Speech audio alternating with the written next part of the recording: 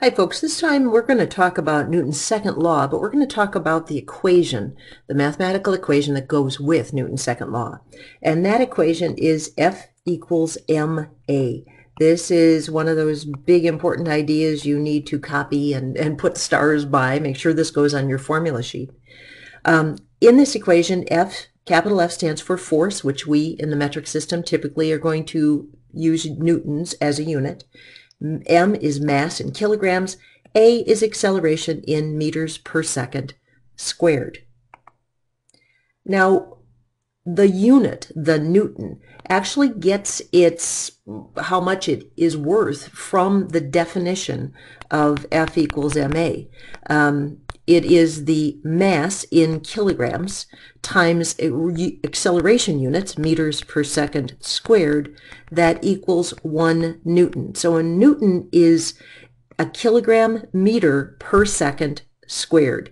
Um, this is not a defined unit. This is a derived unit, uh, which occurs when you have a combo pack of other units that are used so often that they are given their own name when you're measuring things in newtons, it's kind of convenient to think about how much weight or how much force is that. And that is about the weight of a small apple. That's about one newton of force. Okay, grab your calculator and we're going to play some calculator games because I want you to get an idea of how, how big a newton is. If you write down your weight in pounds, and I'm going to do a nice generic skinny person of 100 pounds, um, take your pounds, multiply them by 0.45 to give you, convert that into kilograms.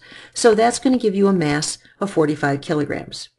Now, force of gravity is weight. These two things are synonymous with each other.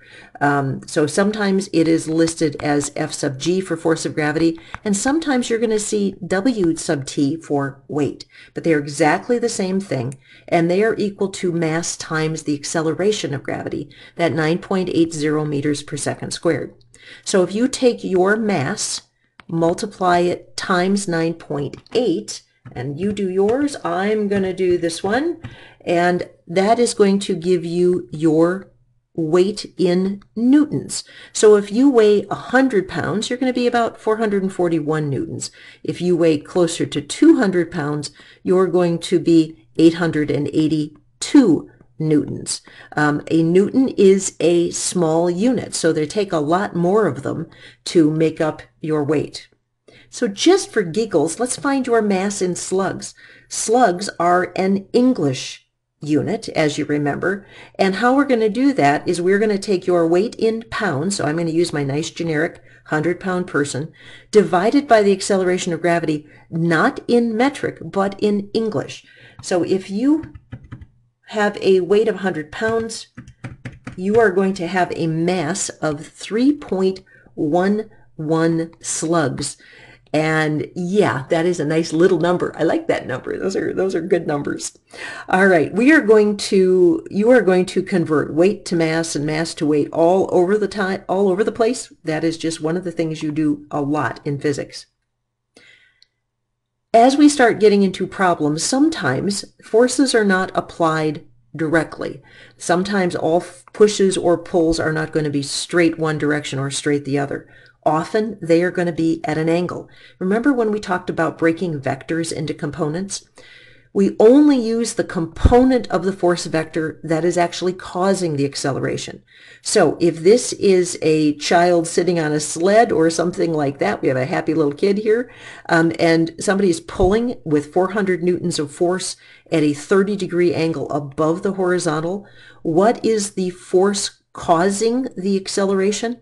Well, it's only going to be the component of the force in that direction. So we're going to drop a perpendicular, and it's only this component of the force that's going to accelerate forward. This is the adjacent side, so this is going to be force times the cosine of 30 degrees. And the force is 400 newtons times that cosine of 30 degrees. So the force causing acceleration let me hit my calculator here, times 400, I end up with the force forward of 346 newtons. Now, what if you are asked at what rate is this child accelerated? Well, if there is no friction, because we're on ice or something and we're going to ignore the small friction that's there, it is the net or unbalanced force that makes a mass accelerate. So the acceleration is going to be equal to the net force divided by the mass, or 346 newtons, divided by the 80 kilograms, which is our child and the sled. And if I divide that out, I'm going to end up with an acceleration of 4.33. Now, how the heck do I get acceleration units out of that? Acceleration, as you know, should be meters per second squared. A newton is equivalent to, I'm going to do this up here, a newton is equivalent to a kilogram meter per second squared.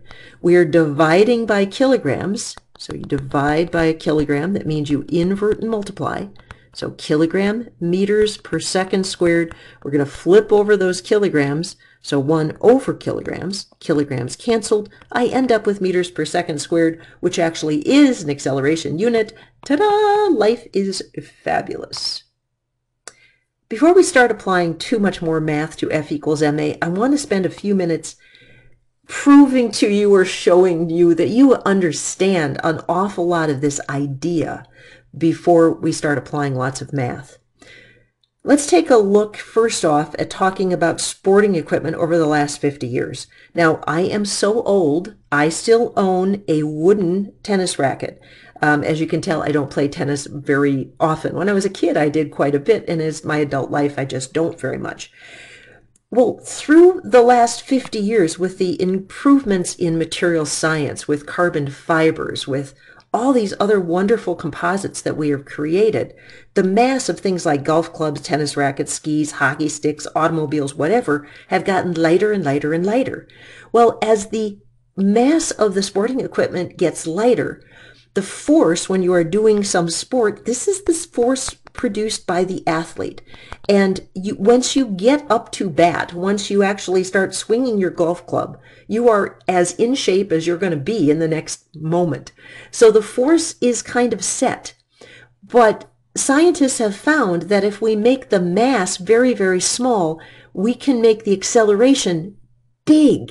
And so people can have a tennis ball that flies further, a golf shot that goes further, um, skis that you can fly more when you go over those over those jumps.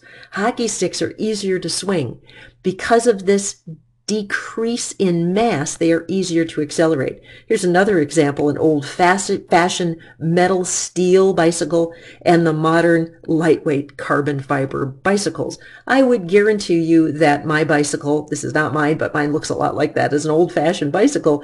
It's going to weigh two or three times more than the light bicycles that are used by competitive cyclists today. Talk about cars and gas mileage. Maybe you're not into sports, but most people have gotten in a car somewhere in their life. Back in the 1970s, cars were made of Detroit iron. Now, I grew up in Detroit, and uh, I remember cars being these big, heavy behemoths that had lots and lots and lots of mass. But they also had huge, massive engines. And these were called muscle cars, and the muscle cars are these cars that just had big, huge engines and the horsepower would be written right on the automobile. And I remember as a kid growing up and there would be cars that had 300 horsepower or 400 horsepower. And these were big engines in order to accelerate the large mass of the vehicle and give it some sort of get up and go, which is acceleration. Well, about the 1980s, the late 70s, early 80s, what happened was there was an oil embargo in the Middle East. And during that time, gasoline prices went skyrocketing crazy. When I was a kid, gasoline was something crazy like 20 cents a gallon. Well, the gas prices just went up and up and up and up because we couldn't get gas from the Middle East. So the U.S. government put pressure on the Detroit auto manufacturers and said, you have to produce automobiles that get better mileage. Well, how do you get better mileage?